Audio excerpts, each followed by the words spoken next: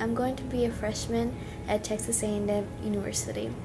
ThinkSabio is a wonderful platform that is helping people gain knowledge and experience in the stock market. The reports given by ThinkSabio are very detailed and contain a ton of data that many people don't have access to. Also, the reports are very easy to understand that any common man can understand from kids to adults who are beginners with no knowledge.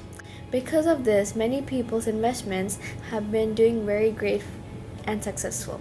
With all these resources provided, I believe ThinkSabio will make a huge dent in the investment universe. Krishna, I had a zero knowledge about stock market before I joined this group.